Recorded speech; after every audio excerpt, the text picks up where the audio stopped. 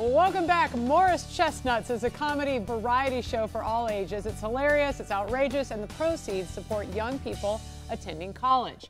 Good Speech Entertainment teamed up with the Martin Luther Kings of comedy to present this holiday show. So we want you to please welcome Aaron Branch, who is a comedian and producer of this show, which is We should happening just start clapping. tomorrow Thank night. you. Right, Aaron? There Thank you go. so much.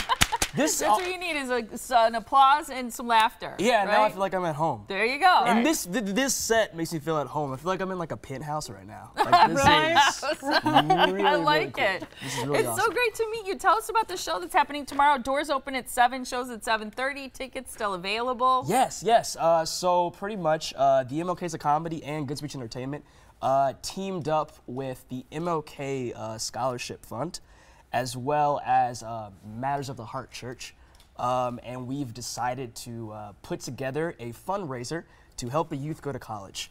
Um, awesome. Yes, exactly. The MLK Fund has done a lot of really awesome things for the youth of Milwaukee, and for the holiday season, we thought it would be in our best interest. Um, and also, we care about people, and we want to help the kids go to college, man, because school is important, you know? That's right. It is. I like it. It is. All right, so as producer of the show, uh, Yes. I'm thinking about buying a ticket. What can I expect? You can expect a lot of characters, a lot of off the wall stand up, uh, socially aware stand up, and a lot of sketch material. Do you guys like sketch comedy? Oh, yeah. like yeah. What kind of topics do you hit? We, I mean, we hit anything from racial injustices to um, woke stand up. That's kind of like What's the way woke? Woke, woke is being aware.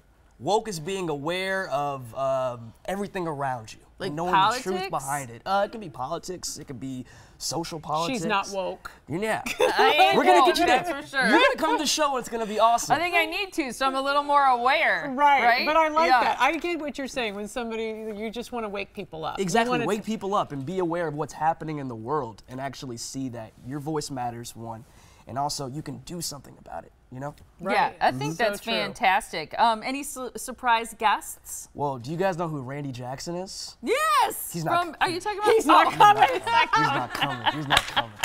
But that would be so cool if That was Randy good, Jackson Aaron. Here came. you go. Awesome. No, we have Santa Jackson coming.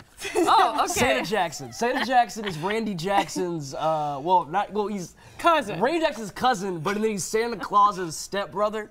Um, Oh, stepbrother to Santa Claus. Exactly. Okay, Yeah. he's gonna be there. He's gonna be there. Wow. He's okay, that's doing, big. yeah, he's gonna be uh, hosting the event. It's gonna be cool. and who benefits from the proceeds? Oh, well, so all of the proceeds are going to the MLK Scholarship Fund, which will inadvertently be uh, helping kids go to school.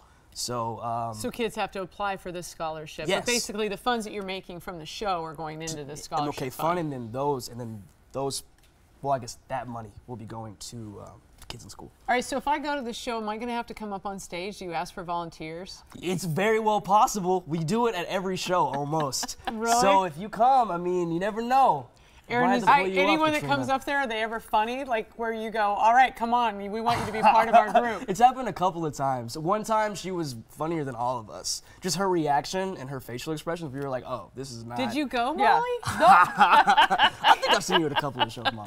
I want to talk about your hair. Do you style it yourself? Yeah, I know. I, I have a really dope barber. Shout out to Manny. I don't know which camera, but shout out to Manny. Okay, yeah, Uh, because he gives you a little, uh, like, real close to the the scalp here, and then he gives you a. See, Molly was not the one at the show. well, I get I, I get called Kid and Play a lot. I don't know if you guys have seen, you know, the thing Kid and Play. Back in the, guys, we really? are not woke. Aaron, we told Oh, you we're what not is that? We're gonna have a we long conversation cool. after We're this. not woke. We're not cool. We're not woke, and we Yeah. need to know more about your shows so that we can your hair. be woke. Right? Yeah. Yeah. Yeah. What's up? So your barber, what do you say? Give me the. It's a so it's a um, it's a flat top, but Okay. I get a bald fade on the side. A bald, Bald fade. fade. a with the bald flat fade on the side, a bald fade on the side. Now my barber always tells me not to do the bald fade, but fun fact, I never listen, and I really enjoy the bald fade. It's my favorite thing in the world. I There think it's fantastic. Thank So you very how did much. you Yeah. get into comedy? So I started comedy when I was 15 years old. Did you know you were funny before that, though? No, actually, fun fact, my grandma, when I did my first open mic, I asked her to come. She said, no, I'm not coming because you're not funny.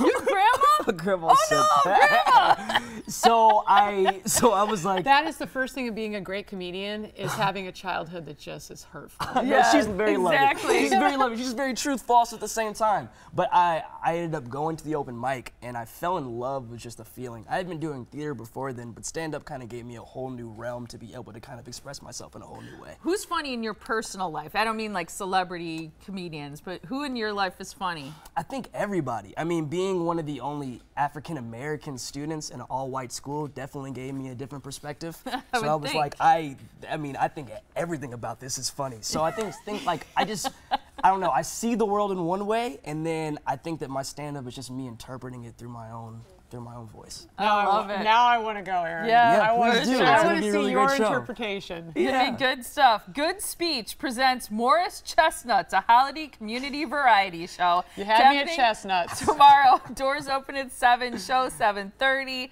It's on um, 27th Street in Milwaukee. You can find out more about tickets by visiting this web website. It's MLKS, like MLK, uh, Martin Luther King's Yeah, of Comedy. so it's just it's MLKs. MLKS Yes. of comedy.com slash events. Yes, it is. It's right Did up there. say that right? It's right Okay. there. Yeah, nice job. Love it. Thank you Great very meeting much. you. I appreciate Happy it so much. Thank you guys for having Have me. a great show. Say show. hello to Santa Jackson for us. Santa Jackson.